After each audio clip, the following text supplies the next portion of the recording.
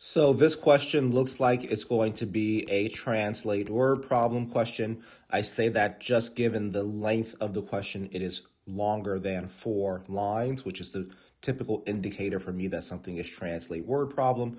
And again, this strategy simply just means that I don't want to read the entire question all the way through without writing down all of the quantitative information and relevant info that relates to that quantitative information, with the end goal being that I do not want to have to reread the entire question to understand what's going on. So let's get started and see what we can extract from reading this question. So the question says the total area of a coastal city is 92.1 square miles. So I'm going to say total area equals 92.1 uh, I'll say miles squared because that's what square miles are, uh, of which 11.3 square miles is water. Okay, so um, so honestly, this total area is 11.3 miles squared water plus, and let me just get my calculator out, 92.1 minus 11.3 is 80.8. So plus 80.8 square miles, I'm assuming land. But I can always adjust that if I need to in case I'm wrong. If the city had a population of 621,000 people in the year 2010, all right, so 2010 was 621,000 people.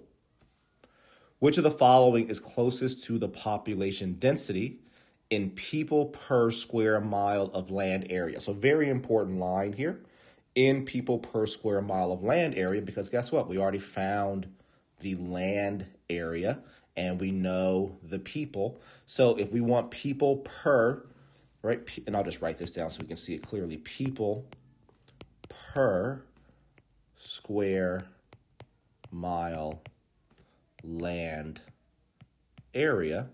Well, how many people do we have in 2010? Well, we have 621,000. Per means divided by, so I'm just going to put my divided by line or fraction fraction line there. Square mile land area, well, we knew that that is this number here. So 80.8 square miles. And I think that's all they want us to do, right? So I'm just going to go straight to my calculator. Again, my unit here is people.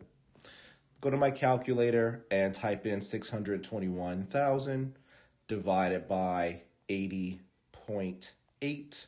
And what I get is 7,685.64, basically people per square mile land area.